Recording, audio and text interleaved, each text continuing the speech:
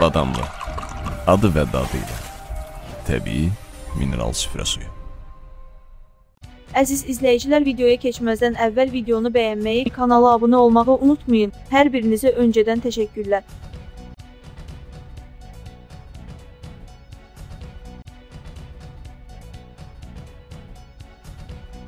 Azərbaycanda aprelin 2-sində gözlənilən hava şəraiti açıqlanıb. Milli Hidrometeorologiya Xidmətindən Oxu24.com-a verilən məlumata görə sabah Bakıda və Abşeron yarımadasında havanın dəyişkən buludlu olacağı, əsasən yağmursuz keçəcəyi gözlənilir. Səhər bəzi yerlərdə zəif duman olacaq, cənub-qərb küləyi əsəcək, axşam mülayim şimal-qərb küləyi ilə əvəz olunacaq. Havanın temperaturu Abşeron yarımadasında gecə 8-10, gündüz 14-19, Bakıda gecə 8-10, gündüz 16-18 dərəcə isti olacaq. Atmosfer təzyiqi 760 mm civə sütunundan 755 mm civə sütununa inəcək. Nisbi rütubət gecə 70-80, gündüz 50-55% təşkil edəcək. Havanın temperaturu gecə 4-8, gündüz 17-22, dağlarda gecə 0-5 dərəcə isti, yüksək dağlıq ərazilərdə 4 dərəcə şaxta, gündüz 5-10, bəzi yerlərdə 13-16 dərəcə isti olacaq. Tibbi meteoroloji proqnoza gəlincə, aprelin 2-sində Abşeron yarımadasında meteoroloji amillərin mülayim tərəddüdü gözlənilir ki, bu da meteo əsas insanlar üçün əsasən əlverişlidir.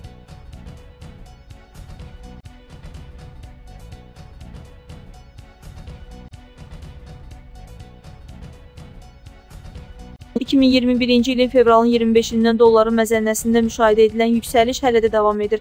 Dolların aparıcı 6 valyutaya qarşı ortaq məzənnəsini ifadə edən dollar indeksi ötən müddətdə 89,9 səviyyəsindən 93,2 səviyyəsinə yüksəlib. ABŞ valyutası qısa müddətdə 3,7%-ə qədər bahalaşıb. Bahalaşmaya səbəb olan amillər çoxdur. Sfera Az saytına danışan iqtisadçı ekspert Xalid Kərimli dolların bahalaşmasını bir neçə səbəblə əlaqələndirdi. Kərimli dolları bahalaşdıran digər səbəbin ABŞ-da vaksinasiya prosesinin sürətlənməsi olduğunu bildirdi. Dolların bahalaşmasına səbəb olan ikinci hadisə Biden hökumətinin COVID-19 virusuna qarşı peyvəndləməni sürətləndirməsidir.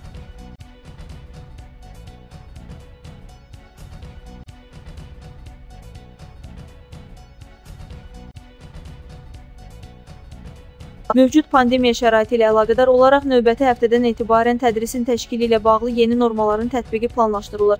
Təhsil Nazirliyindən Oxu24.com-a verilən məlumata görə aprelin 5-dən Bakı, Sumqayıt, Gəncə, Şəki şəhərləri və Abşeron rayonunun ümumi təhsil müəssisələrində tədris və təlim-tərbiyə prosesinin distant formada təşkili nəzərdə tutulur. Digər şəhər və rayonlarda isə tədris sanitar-gigiyenik tələblərə əməl edilməklə qismən əyani formada davam etdiriləcək. Qeyd edək ki, ümumi təhsil müəssisələrinin yaşı 50-dən yuxarı olan müəllim və texniki heyətinin martın ilk həftəsindən vaksinasiya prosesinə başlanılıb. Bu günədək proses çərçivəsində 55%-dən çox müəllim və texniki heyət COVID-19 əleyhinə peyvənd olunub. Təhsil prosesinin səmərəli təşkili üçün müəllim, o cümlədən texniki heyətin vaksinasiya prosesində iştirakı zəruridir. Təhsil Nazirliyi ictimaiyyətə sanitar gigiyenik qaydalara əməl etməyi, maska taxmaqla və sosial məsafəni gözləməklə COVID-19 virusundan qorunmağı bir daha tövsiyə edir. Qeyd edək ki, Nazirlər Kabinetinin xüsusi karantin rejimi dövründə Azərbaycan Respublikasının ərazisində fəaliyyət göstərən təhsil müəssisələrinin fəaliyyətinin təşkili ilə bağlı əlavə tədbirlər barədə qərarına və Təhsil Nazirliyinin müvafiq əmrinə əsasən fevralın 1-dən ölkə üzrə ümumi təhsil müəssisələrində karantin rejiminin qaydalarına əməl edilməklə ənənəvi tədris mərhələli şəkildə qismən bərpa edilib. Bu gün yoluxmanın üstünlük təşkil etdiyi ərazilərdə tədrisin distant formaya keçirilməsi ilə bağlı qərar qəbul edildi. Təhlillər göstərir ki, son həftə ərzində olan yoluxmaların 80%-dən çoxu bu bölgələrin payına düşür. Yeniyavaz.com xəbər verir ki, bunu Təhsil naziri Emin Əmrullayev Facebook səhifəsində bildirib. Nazir qeyd edib ki, yoluxma hallarının daha az baş verdiyi yerlərdə tədris əyani formada həyata keçiriləcək. Lakin yoluxma halları artdığı təqdirdə həmin ərazilərdə də tədrisin distant formaya keçirilməsi nəzərdə tutulur. Hörmətli təhsil ictimaiyyəti məlum olduğu kimi, pedaqoji və texniki heyətin peyvənd olunması prosesi davam edir. Bir daha vurğulamalıyam ki, şagirdlərin davamlı öyrənməsi və təhsil müəssisələrinin mütəmadi fəaliyyətinin təmin edilməsində vaksinasiya mühüm faktordur. Hər birinizin bu məsələdə fəal iştirakını vacib hesab edirəm.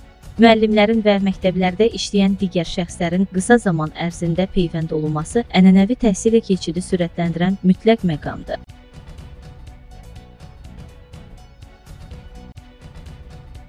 Xəbər verdiyimiz kimi, Təhsil Nazirliyinin qərarı ilə aprelin 5-dən Bakı, Sumqayıt, Gəncə, Şəki şəhərləri və Abşeron rayonunun ümumi təhsil müəssisələrində tədris və təlim-tərbiyə prosesinin distant formada təşkili nəzərdə tutulur.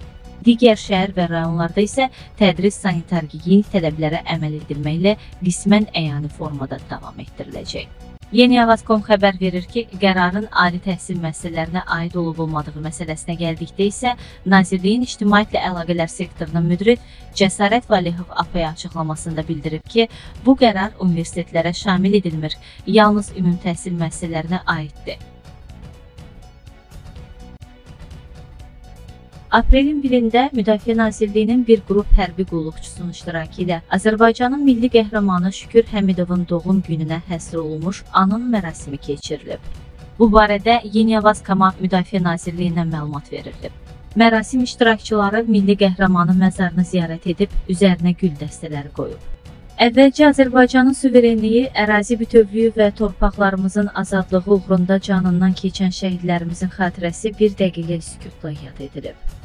Anım mərasimində qəhrəmanımızın şərəfli həyat yolundan, vətənpərvər zabit kimi vətənə xidmətindən, xüsusilə də aprel döyüşləri və vətən müharibəsi zamanı göstərdiyi şücaət və qəhrəmanlıqdan danışılıb. Həmidovun qəhrəmanlığına Silahlı Qüvvələrin Ali Baş Komandanı cənab İlham Əliyev tərəfindən yüksək qiymətləndirildiyi, təltif edildiyi orden və medallara layiq olduğu xüsusi vurğulanıb.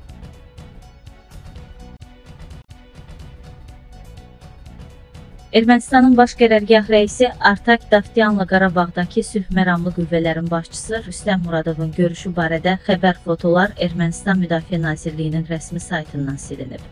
Yeniavaz.com xəbər verir ki, buna səbəb görüşdə Rüstəm Muradovun qarşısına qoyulan Rusiya bayrağının tərs asılması olub.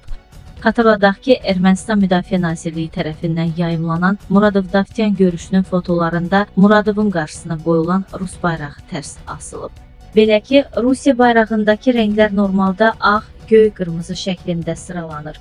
Ancaq Rüstəm Muradovun qarşısına ermənilər tərəfindən qoyulan bayraqda rənglər qırmızı, göy, ağ şəklində sıralanıb.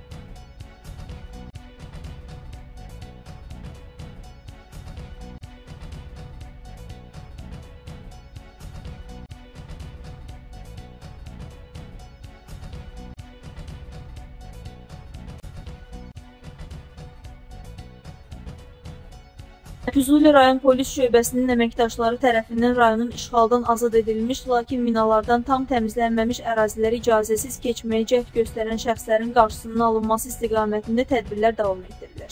Həmin şəxslər saxlanıldıqdan sonra polis şöbəsinə gətirilmiş müvafiq araşdırmalarla onların barəsində protokollar tərtib edilərək hüquqi qiymət verilməsi üçün rayon məhkəməsinə təqdim edilir.